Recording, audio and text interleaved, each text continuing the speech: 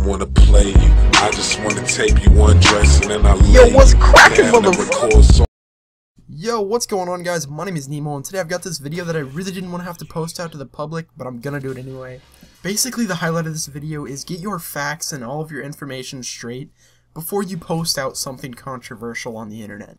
For the people watching this video that don't follow my Twitter, you guys are probably scratching your head right now and have no clue what the fuck I'm talking about.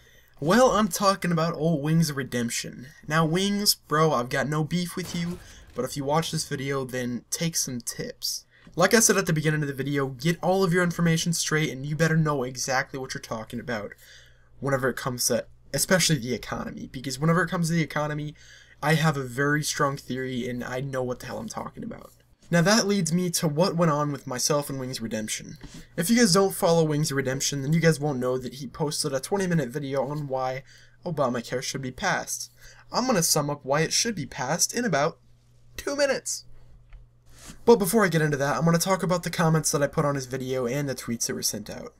I really wish you guys knew what the fuck this bill will actually do for the country and the American people. American priorities are so out of order, we will bitch and moan over a dog being hurt rather than the health of people going through issues. Put yourself in someone else's shoes. Families trying to make ends meet, senior citizens out of work, homeless vets.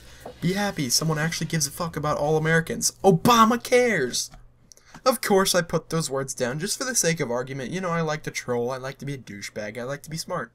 I figured old Wings of Redemption isn't going to read all the comments, so I went on his Twitter and I posted it in about six different tweets.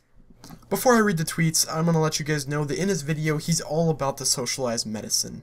So he replied on Twitter saying, You're coming at me like I don't want a healthcare system in place. I simply said Obamacare is not the healthcare system we need.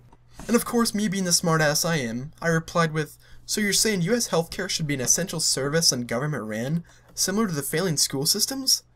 And then what got me blocked by him is I called him economically illiterate. I guess that's being a douche or whatever. So I set the fire to the rain with him and called it quits. But remember guys, if you're gonna post something controversial on YouTube, you better get your shit straight or I'm gonna come after you. Until next time guys, don't forget to leave a comment on what you thought of the video and a possible rating. Bye. Have a beautiful time.